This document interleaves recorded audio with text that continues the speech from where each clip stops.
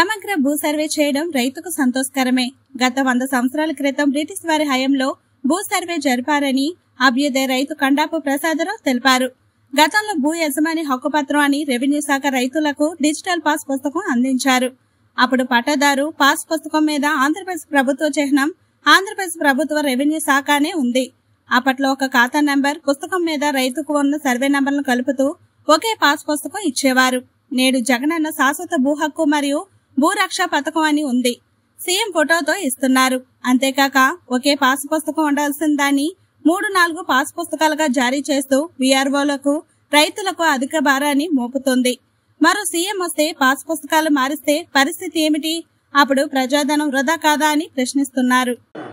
రేపు మరి ఆయన మారిన తర్వాత మరి మా పిల్లలు ఉద్యోగాలకు ఎక్కడైనా వెళ్తారు. దీన్ని పట్టుకొని ఇతర రాష్ట్రాలకు వెళ్తే వాళ్ళు ఏంటంటారు? ఆంధ్రప్రదేశ్లో జగనన్న హయాంలో తీశారు. ఇది మా చల్లదు.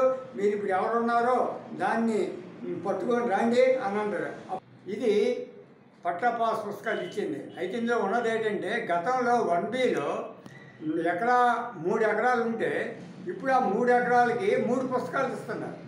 ఈ మూడు పుస్తకాలు ఇవ్వడం వల్ల మూడు ఖాతాలు పెట్టడం వల్ల ఉన్న సమస్య ఏంటవుతుందంటే రేపు మనం లోన్కి వెళ్ళామంటే ఈ మూడు బుక్ మూడు తాలూకా వన్ బిల్ తీయాలి.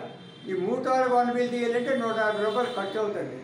నేను అంతేకాక ఇప్పుడు చూసారా దీని మీద వైఎస్ ముఖ్యమంత్రి గారు వస్తారు. ఆయన వచ్చి అంటారు ఇది తప్పు. మళ్ళీ దీన్ని రీసర్వే చేయాలా? అని వాళ్ళు అంటారు. అంటే మళ్ళీ దీనికి ఎన్నో కోట్లు పెట్టి పని చేయాలా సర్వే చేయాలా?